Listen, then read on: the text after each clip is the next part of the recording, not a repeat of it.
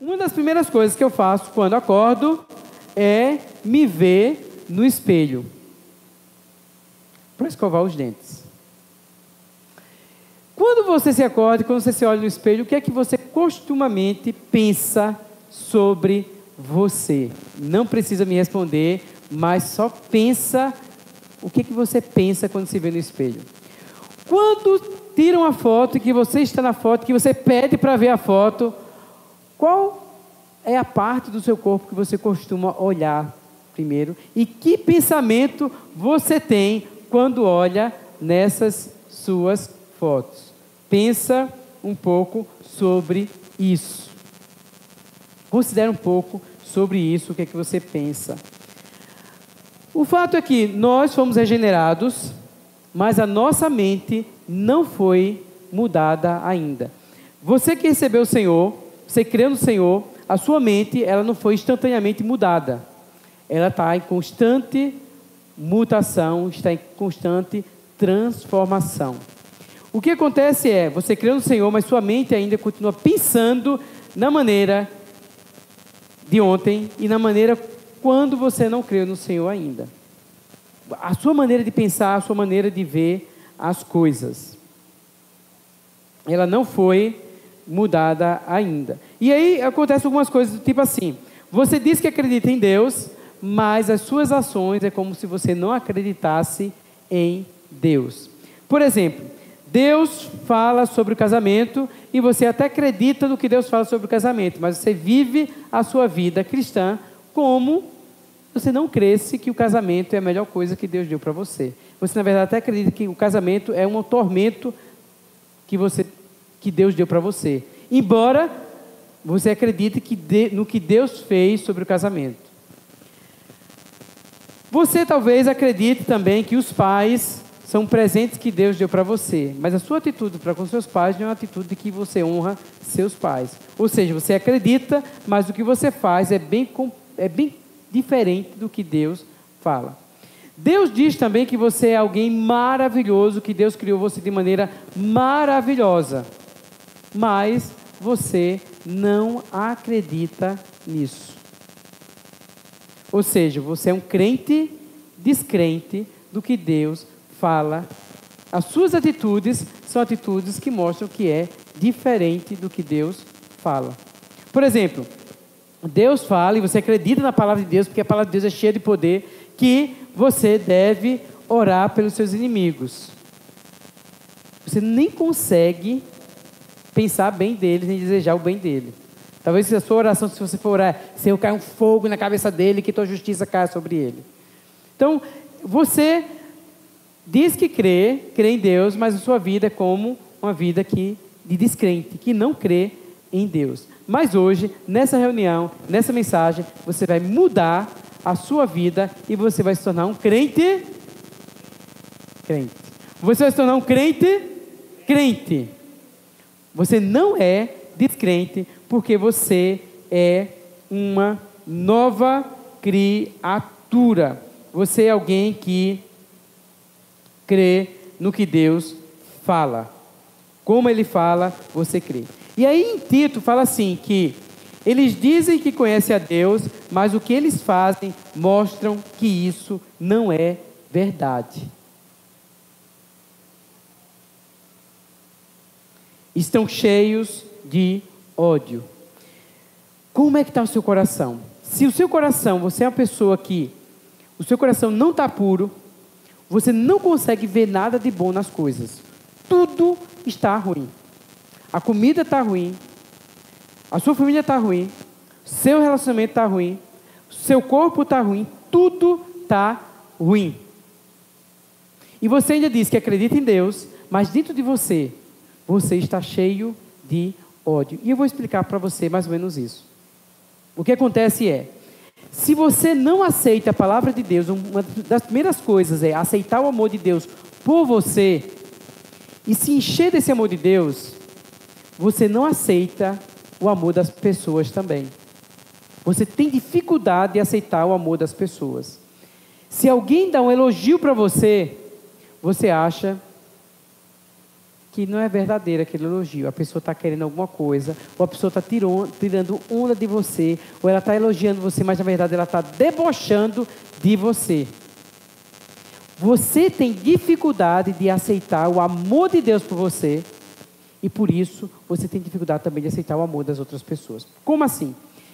Deus diz que você é valiosíssimo, que Ele deu um, pagou um alto preço por você. Mas quando você se olha no espelho, de manhã cedo, você se acha a pessoa pior do mundo e se acha que não tem valor nenhum. Você é um crente, mas não acredita que, os, que Deus pagou um alto preço por você. Você é um crente, mas descrente das palavras de Deus. Descrente do que Deus fez por você. Se você é descrente, você também é descrente de todos os relacionamentos que as pessoas tentam expressar por você. Mesmo as pessoas que digam para você, eu amo, eu lhe amo. Você não acredita no amor das pessoas. E aí, isso gera muitas outras coisas terríveis. Começa a gerar confusão na sua cabeça porque você acha que as pessoas estão intrigadas de você, as pessoas estão querendo criar confusão com você. Você acha que as pessoas que estão dizendo que lhe ama, na verdade ela está com outro interesse sobre você, o amor dela não é verdadeiro. E você começa a olhar e achar, não achar virtude em nada e achar problema e dificuldade em todas as outras coisas. E no seu coração começa então a crescer ódio em você e às vezes intriga até mesmo com as pessoas que querem o seu bem, as pessoas que querem chegar perto de você, porque a sua mente não foi transformada ainda. A sua mente não consegue crer no que Deus fez por você. E você continua vivendo uma vida de crente descrente. Mas hoje à tarde, nesse momento, você não quer continuar vivendo essa vida. Porque você não nasceu para ter essa vida. Lembre-se que você nasceu para ser como seu pai determinou. Você nasceu para ser uma pessoa cheia de fé e ser uma pessoa que tem uma mente renovada, uma mente que está sendo transformada. Talvez isso seja porque na sua infância, os seus pais, eles sempre estavam mostrando os seus defeitos. O tempo todo ele estava dizendo que você não ia ser ninguém na vida, que você é ruim, que você é maldoso, que você é um menino isso, você é menina assim, e você assimilou muito, muito isso. E crê muito mais nessas verdades, nessas coisas que seus pais falaram, do que na palavra de Deus. O que é que Deus diz sobre você? Você é um crente que acredita nas palavras de Deus. E você vai, a partir de hoje, crer nas palavras de Deus e vai permitir que as palavras de Deus revolucionem a sua vida. Você vai se permitir que essa palavra de Deus renove os seus pensamentos e faça de você uma nova criatura. Porque você é uma nova criatura e as coisas antigas já passaram. As coisas antigas já passaram. Você crê muito mais nas palavras de Deus do que nessas ideias que vêm na sua mente. Você escolhe crer no que Deus fala. Primeira coisa que Deus fala, Deus diz assim: que Ele lhe ama e que você é valiosíssimo. Você pagaria o preço que Deus pagou por você? O quanto você vale? Saiba que se você fosse a única pessoa nessa terra, Deus viria por você. Porque você é precioso. Você é valioso. Você precisa crer nisso e acreditar que é verdade, que você é amável. Não pelas coisas que você faz, não pelas suas habilidades. Ah, se eu fizer muita coisa para Deus, Deus vai me amar mais. Se eu for muito para as reuniões, Deus vai me amar mais. Se eu pregar mais evangelho, Deus vai me amar mais. Independente disso, Deus simplesmente decidiu amar você pelo que você é. Antes de você fazer qualquer coisa, Deus simplesmente lhe amou. E por isso, você também se valoriza. Por isso que você também se acha especial. Não era só na salinha de criança que você cantava essa música e você acreditava. Hoje, na sua adolescência, na sua juventude, você ainda canta e ainda acredita. Sou alguém especial, pois Jesus me escolheu. Sou assim especial, pois consigo me encheu. Quão precioso o Rei me escolheu. É mais do que tudo, sou dele, ele meu. Você é o que? Especial. Quando você se olha no espelho, você se olha e você diz para você mesmo: Eu sou especial. De hoje em diante, toda vez que você olhar no espelho, você vai lembrar desse hino e vai lembrar essa frase: Eu sou especial. Mesmo com o cabelo não em forma, mesmo com, os, com as orelhas, olheiras, mesmo com o rosto inchado, você vai dizer assim: Eu sou alguém especial. Porque eu não ando pelas coisas que eu vejo, mas eu ando por fé porque o meu justo viverá por fé todos os dias. E eu não ando pelas circunstâncias, não pelas coisas que eu vejo, mas pelas coisas invisíveis. Deus assim disse que eu sou especial e eu sou especial e eu me deixo ser abraçado por Deus. Eu me deixo ser amado por Deus. Foi isso que a gente acabou de cantar nesse hino aí. Ele me abraça, ele me beija, eu vou me deixar. E eu me chego, aí fala assim que eu me chego ao trono e me chego e às vezes vem um pensamento, eu não sou digno. Mas aí eu me lembro que ele pagou um preço por mim. Aí eu me lembro que eu sou uma nova criatura. Aí eu me lembro que eu sou alguém que tem fé. Eu sou crente, crente. E eu creio nas palavras que Deus fala por mim. Eu não creio no que minha mente fica tentando dizer, que Satanás fica tentando dizer. Porque Satanás sabe, se ele conseguir colocar você lá embaixo, se achar que não é ninguém, corromper a sua mente, ele vai abrir uma grande brecha para você sentir odiado, achar que as pessoas estão lhe odiando e você também passar a odiar as pessoas. Se ele conseguir achar essa brecha em você de que você não presta para nada, você vai se vender por qualquer preço e qualquer pessoa que ofereça qualquer tipo de amor, você vai aceitar das pessoas, porque você não, se vale nada. Você, como você não se vale nada, você vai se permitir que as pessoas toquem você quantas vezes quiserem.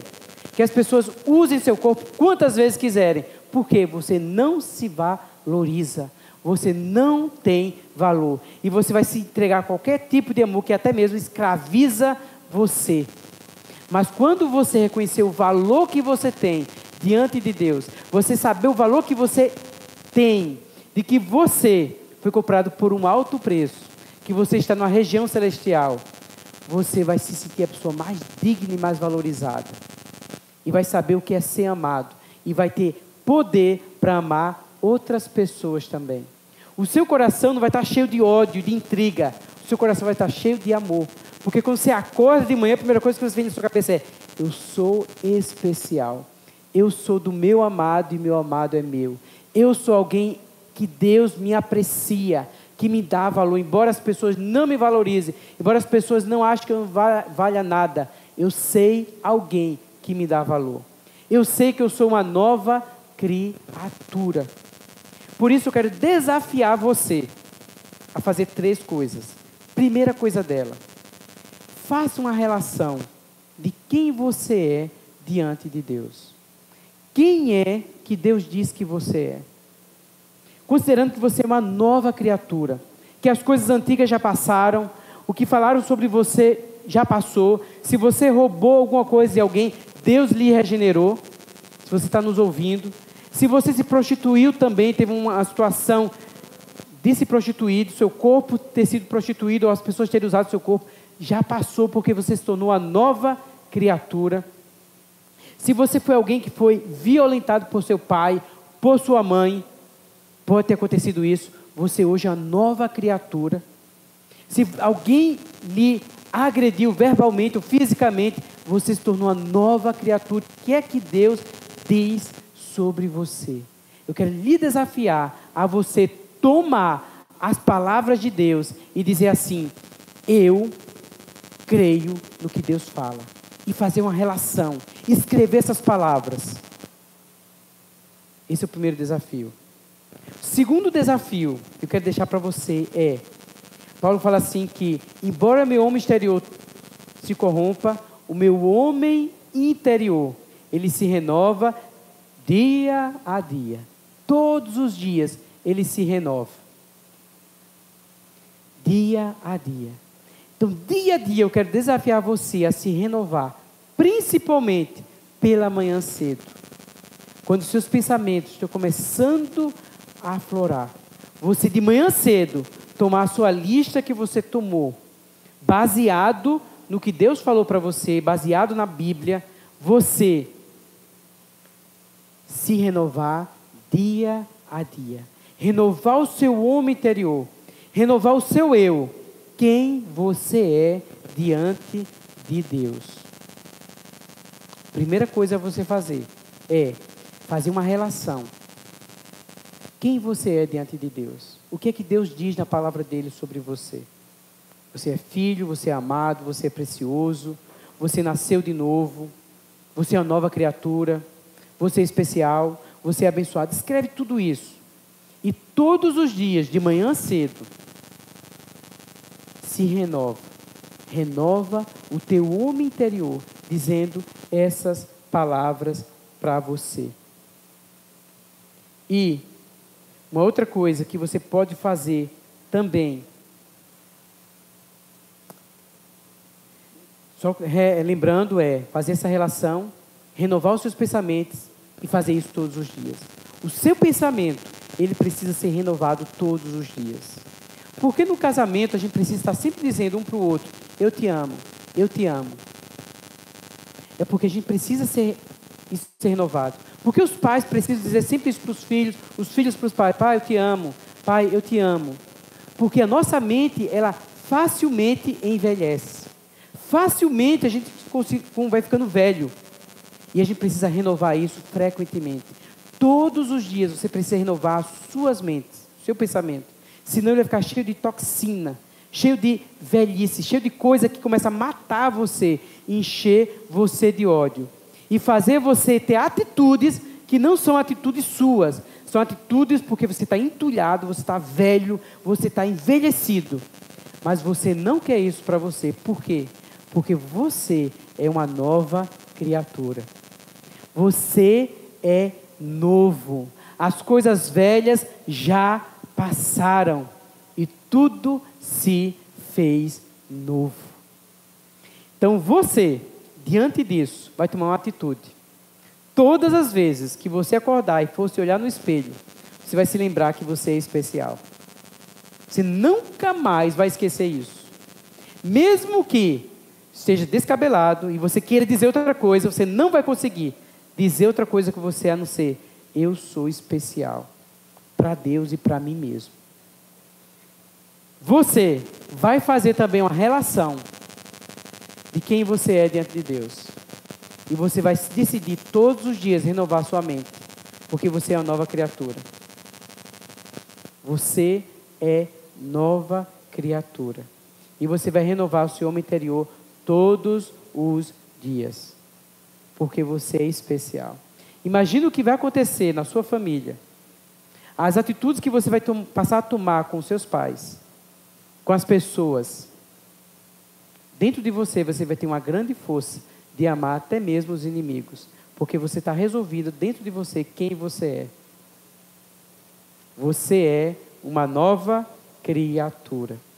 Você é um crente crente, cheio de Deus. E quando você olhar para as pessoas, você vai olhar agora com cheio olhar com os olhos curados, cheios de virtude. Porque as pessoas que têm, vou repetir de novo o versículo que a gente começou.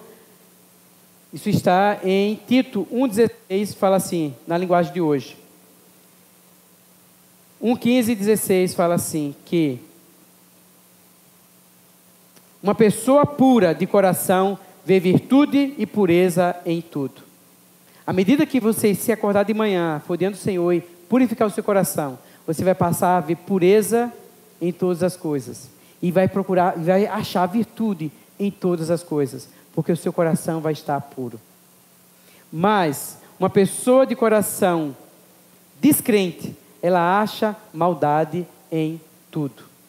Até hoje, você tem achado maldade em todas as coisas. Isso é Tito 1,15, na linguagem de hoje. Você tem achado maldade em tudo. É porque o seu coração, a sua mente está corrompida. Você permitiu que Satanás entrasse em você e corrompesse sua mente. Mas agora, com essas coisas, a sua mente vai mudar. Você vai começar a achar pureza.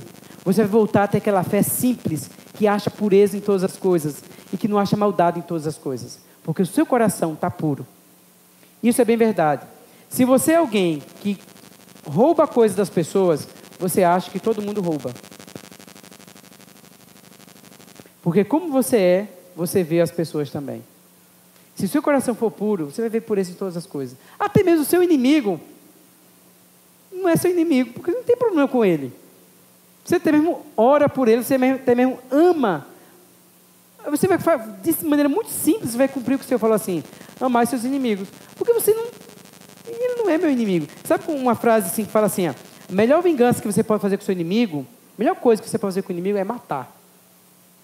Eu dou esse conselho: mate seu inimigo. Mate seu inimigo. A melhor forma de matar o inimigo é perdoando. Ele deixa de existir. Você acaba com ele. Acabou com o inimigo. Porque seu coração está cheio de amor. Você recebeu o amor de Deus, permitiu ser amado, e Deus lhe amou numa situação bem complicada, você vai amar as outras pessoas também. E aí, seguindo, fala assim: que os olhos são a lâmpada do corpo, se os seus olhos forem bons, todo o seu corpo será cheio de luz. Como seu coração está limpo, você vai olhar todas as coisas com pureza. E aí, seus olhos serão puros, e todo o seu corpo também será puro. Você é crente e, de, e está decidido a viver uma vida de crente, sendo uma nova criatura. Nesse momento agora a gente vai sentar às mesas e é esse momento sensacional. Vocês vão ter o roteiro e vão conversar então com as pessoas. Então você que está nos assistindo, vai lá no canal igrejaaberta.com.br, lá você vai achar o roteiro dessa mensagem agora.